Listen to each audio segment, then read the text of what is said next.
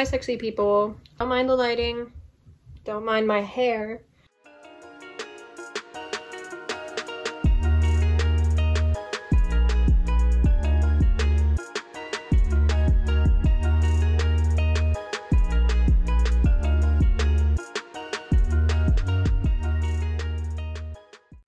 Usually I don't do videos alone, but this one is going to be alone because it's story times. And I'm going to be putting three short stories um, in this whole video. The reason why I'm not doing one is because they're pretty short and like I can explain them pretty quick. So I might as well just do three and then combine it into one video so it can like be all, you know, normal. But yeah, the lighting sucks. I'm sweating. It's summer. Ah! Also, my cat's under my table right now. She's being feisty. you dirty slut. I mean, I would like angle the camera this way, but I'm so sweaty and gross that I don't even want you guys to like see my face in good quality. So we're just gonna put it back here and my cat's right there and she's probably gonna attack me. So if you hear me scream, I'm sorry. So one of them is my first kiss. Um, the second one is I jumped off a balcony. and broke my ankles. And the third one is the worst thing I got in trouble for at school. Let's go. Oh, so now you're being nice and sleeping? So I guess we're starting with the worst one, and the worst one is my first kiss story time because it was just awful and horrible and I hated it. Um, I never want to relive this moment ever in my life. Um, so yeah. So this was two years ago. It was like the ending of grade. Also, I had my first kiss when I was 14. Shut the fuck up. I know that's like late or whatever, but I just never really liked or like felt the need to, you know. Anyway, um, I did have like boyfriends in the past where I like kissed them on the cheek, but like that was it. And so my first kiss experience wasn't even a relationship. it was with this, it was a girl and it was like the most absurd thing that ever happened in my life. So basically we were doing this pro, I'm not gonna say her, their name, and I hope they're not watching this video. If they're watching this video, I'm going to actually shoot myself in the head. So basically we were doing like a school project together and she was like my only friend at the time because like, I don't know, I was a loner and no one liked me. And so we were like behind Walmart and like, I don't even want to say this, but basically we were drinking alcohol and this is when I was just, I wasn't like being a rebel, but like I was just depressed so I would do I would do certain things to cope with that, which not a good way, but that's what I did. So we were drinking alcohol, so I was a little bit, you know, and I was like, do you want me to kiss you? And like out of nowhere, I was like, do you want me to kiss you? And she's like, mm -hmm. I was like, do you want me to kiss you? And I kept saying it and not doing it. And then she just started kissing me. And like, it was like, it was awful. It was like my first kiss. Like, it wasn't, it was like kiss, kiss, like, and I hated it. And after that, I was like, stop. I was like, never, never talk about this again. Forget we ever did this. It was the worst kiss of my life. like the worst experience ever. So yeah, that was my first kiss experience. As I said, it's really short, but after that, it was like I just hated it. I hated my first kiss, like my real kiss. It wasn't someone I liked. It wasn't like good. It didn't feel good. Like it, nothing was right about it. I hated it. I would never want to relive it at all. So the second story time is when I jumped off a balcony because we were locked out of a hotel and this was in 2021 so I was 13 years old and I had my like bleach blonde hair if y'all watched me like a long time ago you would know my bleach blonde hair. Pretty sure there's a video actually about it. Like I did a vlog that day and it, there's a vlog about me literally like talking about how I jumped off the balcony. Anyway, basically what happened, we were, it was summertime and we went to this hotel and we were on like the second floor and the second floor I would say was about 12 feet up from the ground and we were just checking in like we just got into the hotel. And we were like just checking out their room and stuff. And we went on the balcony. We realized there was a balcony. And someone count how many times i said and in that video because that was outrageous. I said that so many times. Like holy shit i'm annoying. So we all went on the balcony with no cell phone no nothing. Like we were just checking it out. And the balcony door shut and we heard like a like a click and like it like automatically locked.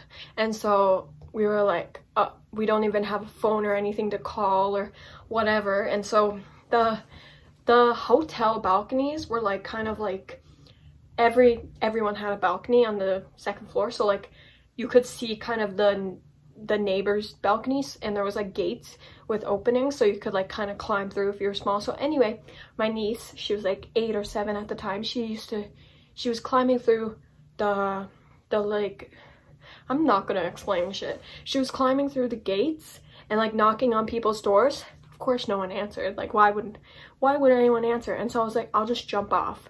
And my sister was like, no, are you crazy? You're not gonna jump off. And then like if people were driving in, she would like wave them and they were just looking at her like she's crazy. Anyway, my niece kept going to door to door, no answer. And so I was like, you know what, I might as well do this. My sister wasn't looking. I got, I like, I didn't even like think. I just did like a whole Tarzan thing and like jumped over it. It was literally like jumping over a fence, but like I, I don't know, I had no shoes on, anything. I, didn't even jump over, like hold myself to lean down. I literally just jumped and I landed half on the concrete and half on the grass. And I just remember both my ankles like going and then I started laughing and crying at the same time and my family was looking at me like I was freaking crazy. They were like, they were just in disbelief. They were like, did you actually do this? And I was like laughing and crying at the same time because I was in pain. But I was also laughing because I was like thinking of like, what if like old people were just in their hotel just drinking tea and look out the window and they just saw someone fall. I was dying and laughing and so I was like limping to the front desk to get a new key and like my toe was cut, everything, and my ankle. I never went to the hospital either, but I'm for sure my ankle, something fractured because it still hurts to this day. Um, actually, I'll just show you. So this ankle, it something hurt around here, and then this ankle, well not ankle but foot, it was hurting there, and it hurt it for like weeks. And even to this day, it still hurts when I do certain dances or something like that. But yeah, that's the story of me jumping off the balcony and we still talk about it to this day and we laugh and my family just, they don't believe that I did that. I'm just a crazy person. Not crazy, but like, what else were we supposed to do? There was nothing else we could really do for it, you know? like, we really could not do anything else. So, and the last story time is going to be the most trouble I ever got in school or like the worst thing I said to a teacher.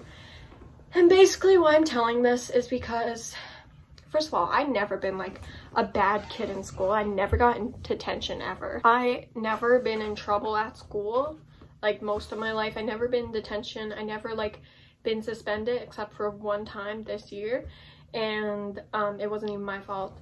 But anyway, I never got in trouble throughout school. I always been respectful to teachers until high school. Um, my ninth grade, which was last year. Ninth year, which was last year, I had music class of one semester. So um, it wasn't like a lot, but I had it for one semester of grade nine. So it was music class. And I love music. You guys know I love music. I love everything about music. But I had a teacher and he he just wasn't wasn't it. Wasn't a good teacher. Um maybe I just didn't connect with him right or we didn't share, I don't know. But anyway, most of the class, most of the people do not like this teacher. Some very few weirdos like him, but like most of the people do not like him because he's a bitch. Anyway, um, I kind of went to his class sometimes in grade 9, but I would always get in trouble for like being loud or whatever, which yes, I guess I am loud and obnoxious, but like I do try to hold back sometimes because I...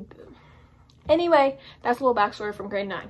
This year, first semester, for my arts credit, I had music class and I was like, oh fuck. Like I didn't even I didn't pick music class. Like the system picked it for me. It was fucked. Anyway, I was like, oh my god, like I'm gonna have to see Mr. And so um, I went in his class and luckily I was with like some of my best friends so it wasn't that hard.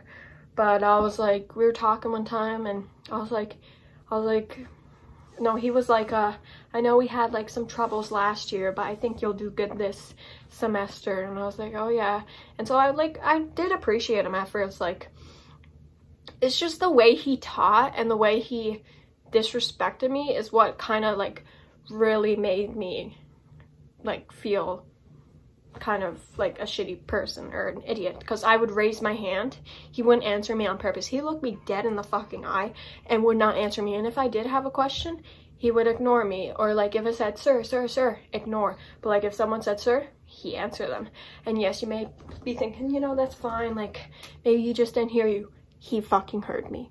Trust me, he fucking heard me.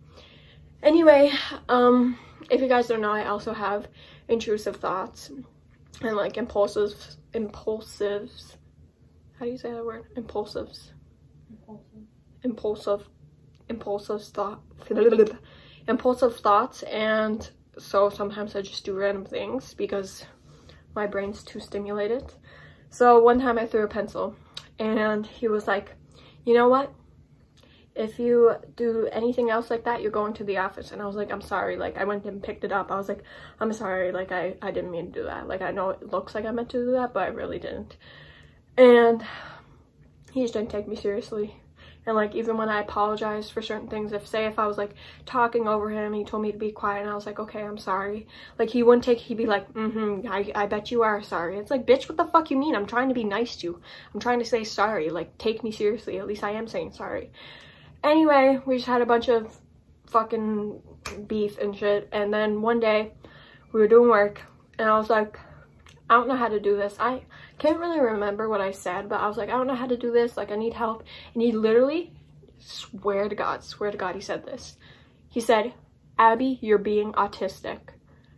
And I said, I looked at him and I said, what the fuck did you just say to me? And he was like, what? And I just was I was like, did you just call me autistic? He said, no, I said artistic. And then my like classmates next to me, they were like, yeah, I heard autistic too. And I was like, even if he said artistic, what kind of context does that mean in the fucking, I was literally like, hey, can I get help? Oh, you're being artistic. That makes zero sense for anything of what I was saying. That's not irrelevant. And so that was his excuse. And so I just stopped coming to his class.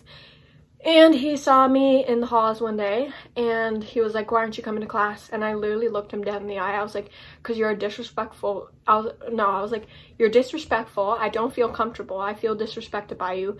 And I feel like you treat me unfairly and you pick favorites. Like I said, all the blank points and reasons why I don't want to come to his class because I feel mistreated. I feel ignored. I feel disrespected and blah, blah, blah. And then he was like, well, you know, you should come join my choir and I think you can do good. And I was like, you're a bitch.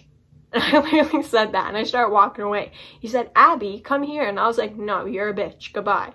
And so I started walking and then I was called to the office. Then my vice principal talked to me and I told her about the whole autistic thing of him calling me that. And she's like, he didn't call you that. And I was like, yep, of course. No one fucking believes me.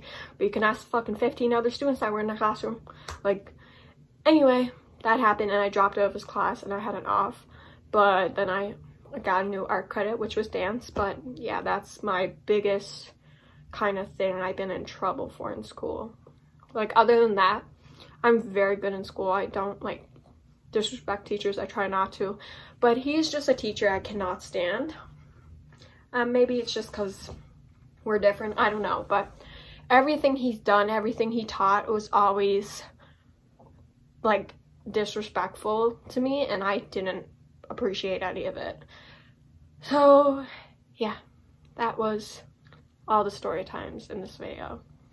Um, my baby cool. She's sleeping. So yeah, I hope you guys like this video. Probably didn't. But um yeah. Bye.